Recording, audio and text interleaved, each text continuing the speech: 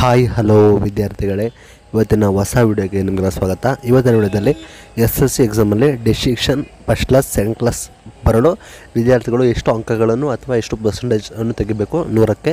ಅದ್ರ ಬಗ್ಗೆ ಕಂಪ್ಲೀಟ್ ಮಾಹಿತಿಯನ್ನು ನಾನು ಈ ವಿಡಿಯೋದಲ್ಲಿ ತಿಳಿಸ್ಕೊಡ್ತೀನಿ. ಅದಕ್ಕಿಂತ ಮುಂಚೆ ನೀವೇನಾದ್ರು ಫಸ್ಟ್ ಟೈಮ್ ನಮ್ಮ ಯೂಟ್ಯೂಬ್ ಚಾನಲ್ ನೋಡ್ತಾ ಇದ್ದರೆ ದಯವಿಟ್ಟು ಇನ್ನೂ ಕೂಡ ನೀವು ಸಬ್ಸ್ಕ್ರೈಬ್ ದಯವಿಟ್ಟು ಬೇಗ ಬೇಗ ಸಬ್ಸ್ಕ್ರೈಬ್ ಆಗಿ ಲೈಕ್ನ ಮಾಡಿ. ನಿಮ್ಗೆ ಗೊತ್ತಿರೋಗೆ ನೀವು ಇಲ್ಲಿ ನೀವು ನೋಡಿದ್ರೆ ಐನೂರ ಅರವತ್ತ್ಮೂರರ ಮೇಲೆ ತಗೊಂಡು ನೀವು ನೂರಕ್ಕೆ ತೊಂಬತ್ತು ಪರ್ಸೆಂಟು ತೊಂಬತ್ತು ಮೇಲೆ ಮೇಲಾಗುತ್ತೆ. ನೀವು ಐನೂರರಿಂದ ಐನೂರ ಐನೂರ ಅರವತ್ತೆರಡು ತೆಗೆದ್ರೆ ನಿಮಗೆ ಎಂಬತ್ತರಿಂದ ಎಂಬ ತೊಂಬತ್ತು ಪರ್ಸೆಂಟ್ ಆಗುತ್ತೆ.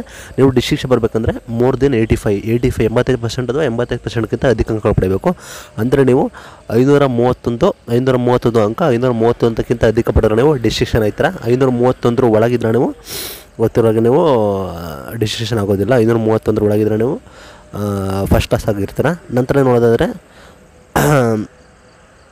ಮುನ್ನೂರ ಎಪ್ಪತ್ತೈದರಿಂದ ಮುನ್ನೂರ ಎಪ್ಪತ್ತೈದು, ಮುನ್ನೂರ ಎಪ್ಪತ್ತೈದರ ಮೇಲೆ ಪಡ್ಕೊಂಡ್ರೆ ನೀವು ಸಿಕ್ಸ್ಟಿ ಪರ್ಸೆಂಟ್ ಸಿಕ್ಸ್ಟಿ ಪರ್ಸೆಂಟ್ ಮೇಲೆ ಬಂದರೆ ನೀವು ಫಸ್ಟ್ ಕ್ಲಾಸ್ ಆಗ್ತೀರಾ sixty to eighty five percentage ಬಂದರೆ ನೀವು ಫಸ್ಟ್ ಕ್ಲಾಸ್ ಆಗ್ತೀರಾ ಮೋರ್ ದೆನ್ ಏಯ್ಟಿ ಫೈವ್ ಬಂದ್ಬಿಟ್ಟು ಡಿಸ್ಟಿಕ್ಷನ್ ಆಗ್ತೀರಾ ಲೆಸ್ ದೆನ್ ಸಿಕ್ಸ್ಟಿ ಪರ್ಸೆಂಟ್ ಅರುವತ್ತು ಪರ್ಸೆಂಟ್ಗಿಂತ ಕಡಿಮೆ ತೆಗೆದ್ರೆ ನೀವು ಸೆಕೆಂಡ್ ಕ್ಲಾಸ್ ಆಗ್ತೀರಾ, ನಂತರ ಐವತ್ತು ಪರ್ಸೆಂಟ್ ಫಿಫ್ಟಿ ಫಿಫ್ಟಿ ಪರ್ಸೆಂಟ್ಗಿಂತ ಕಡಿಮೆ ತೆಗೆದ್ರೆ ನೀವು ಸ ಜಸ್ಟ್ ಪಾಸ್ ಆಗ್ತೀರಾ, ನೀವು ಜಸ್ಟ್ ಪಾಸ್ ಆಗ್ತೀರಾ ಅಥವಾ ಸೆಕೆಂಡ್ ಕ್ಲಾಸ್ ಪಾಸ್ ಆಗ್ತೀರಾ? ನಂತರ ನೀವು ಮೇನ್ ನೋಡೋದಾದ್ರೆ ಇಲ್ಲಿ ಮೂವತ್ತೈದು ಪರ್ಸೆಂಟಿಂದ ಐವತ್ತು ಪರ್ಸೆಂಟ್ಗಿರೋ ನಿಮಗೆ ಸಿ ಗ್ರೇಡ್ ಸಿಗುತ್ತೆ. ಐವತ್ತರಿಂದ ಐ, ಅರವತ್ತು ಸಿ ಪ್ಲಸ್ ಅರವತ್ತರಿಂದ ಎಪ್ಪತ್ತು ಬಿ ಎಪ್ಪತ್ತರಿಂದ ಎಂಬತ್ತು ಬಿ ಪ್ಲಸ್ ಎಂಬತ್ತರಿಂದ ತೊಂಬತ್ತು ಎ ತೊಂಬತ್ತರಿಂದ ನೂರು ಎ ಪ್ಲಸ್ ನಿಮಗೆ ಗ್ರೇಡ್ ಕೂಡ ಸಿಗ್ತದೆ. ನಂತರ ಬಂದ್ಬಿಟ್ಟು ಇಲ್ಲಿ ಭಾಷಾ ವಿಷಯದಲ್ಲಿ ಯಾವ ರೀತಿ ಹೇಳಿದ್ದಾರೆ ಅಂದರೆ ನಿಮಗೆ ಕನ್ನಡ ಭಾಷೆ ಅಥವಾ ನಿಮ್ಮ ಪ್ರಥಮ ಭಾಷೆ ಯಾವ ಇರ್ತದೆ ಅದರಲ್ಲಿ ನೂರ ಹದಿಮೂರು ಅಂಕ, ನೂರ ಹದಿಮೂರರಿಂದ ನೂರ ಇಪ್ಪತ್ತೈದು ಅಂಕ ಬಂದರೆ ನಿಮಗೆ ಎ ಪ್ಲಸ್ ಸಿಗ್ತದೆ. ನೂರರಿಂದ ನೂರ ಹನ್ನೆರಡು ಅಂಕ ಬಂದರೆ ನಿಮಗೆ ಎ ಗ್ರೇಡ್ ಎ ಗ್ರೇಡ್ ಸಿಗ್ತದೆ. ಎಂಬತ್ತೆಂಟರಿಂದ ತೊಂಬತ್ತೊಂಬತ್ತು ಅಂಕ ಪಡೆದ್ರೆ ನೀವು ಬಿ ಪ್ಲಸ್ ಗ್ರೇಡ್ ಸಿಗ್ತದೆ. ಎಪ್ಪತ್ತೈದರಿಂದ ಎಂಬತ್ತೇಳು ಅಂಕ ಪಡೆದ್ರೆ ನೀವು ಬಿ ಗ್ರೇಡ್ ಸಿಗ್ತದೆ.